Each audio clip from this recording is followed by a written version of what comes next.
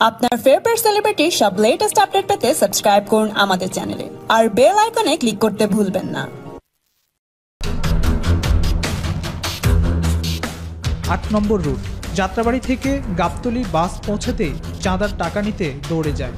সকাল থেকে একে একে এই রুটে প্রায় একশোটি গাড়ি থেকে দুশো টাকা করে চাঁদা আদায় করে এই চক্র। বিশাল অঙ্কের এই চাঁদার ভাগ পৌঁছে দিচ্ছে স্থানীয় বাস মালিক সমিতির নেতাদের হাতে। গাবতলি পাঁচশো টাকার মতন চান্দা দিতে। হয় সাদাবাজ আছে দুইশো টাকা। এরকম মিলে জিলে বারো তেরোশো টাকা যায়। চান্দাবাজেরা চান্দা নেয়। আমাদের খুব অশান্তিতে আছি, গরিব মানুষ আমরা।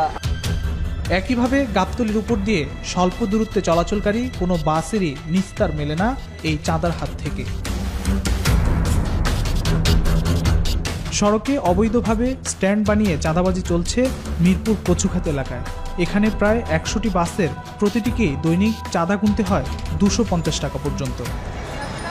রাজধানীর বিভিন্ন রুট আর টার্মিনাল কেন্দ্রিক চাঁদাবাজদের দৌরাত্মের মাসুল গুনছেন সাধারণ মানুষ। বেচতে যাচ্ছে গণপরিবহন খাতের শৃঙ্খলা। আর এই শৃঙ্খলা ফিরিয়ে আনতে সাধারণ মানুষ ও পরিবহন সংশ্লিষ্টদের সচেতনতা জরুরি বলে মনে করেন বিশেষজ্ঞরা।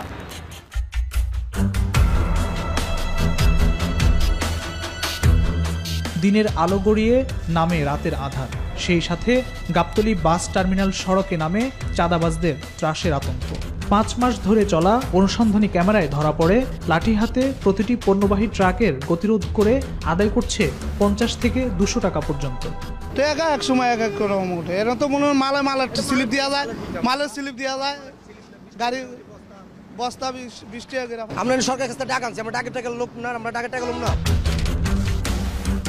চাঁদাবাজদের এমন ত্রাসে অনেকটাই অসহায় ছোট বড় সকল পণ্যবাহী ট্রাক। তবে সরকারিভাবে চাঁদাবাজির কোনো বৈধতা না থাকলেও নিজেদের পক্ষে সাফাই গাইলেন বাস ট্রাক ওনার্স অ্যাসোসিয়েশনের এই নেতা। মালিক সমিতির কোনো তো স্লিপ হয় না। টাকাটা আপনারা মানে নিয়ম আছে না যে এই নিয়মে ডেলি আমাদের কালেক্টর আছে কালেক্টর এসে আমাদের কাছে জমা দিয়ে দেয়। কত করে নিতে হবে? আমাদের তিরিশ টাকা। চাঁদাবাজির এমন রমরমা আগ্রাসনে অনেকটাই উদ্বিগ্ন, ক্ষতিগ্রস্ত পরিবহন সংশ্লিষ্টরা। এ বিষয়ে যথাযথ উদ্যোগ নিতে সরকারের প্রতি আহ্বান জানান তারা। Fakhrul Islam, news twenty Dhaka.